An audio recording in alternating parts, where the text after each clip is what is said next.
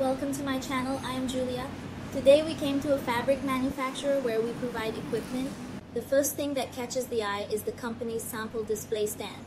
The webbing and fabric shown above are all completed by heat transfer printing. The computer in front of me now controls the printer.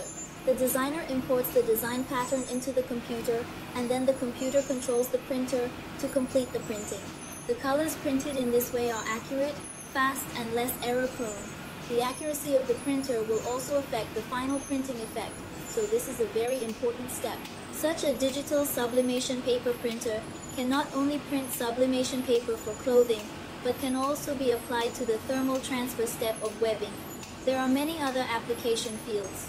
Now this machine has 8 nozzles and 4 colors, and there are many options such as 4 nozzles and 4 colors, 8 nozzles and 8 colors, etc. Now we have come to the heat transfer process. We can see the workers putting the fabric and sublimation paper into the machine. The transferred fabric and discarded sublimation paper are sent out by the conveyor belt at the bottom of the machine and sent to the end. At the end of the machine, the motor drives the collecting rod to collect the transferred fabric. Of course, if you need a more efficient cloth collecting device, you can also use an electric cloth collecting machine. What we see now is the electric cloth collecting machine which is very efficient and suitable for fabrics of various sizes. Now comes the last step, which is a fully automatic laser cutting machine. There is a high definition digital camera above him, and the digital camera is connected to a computer.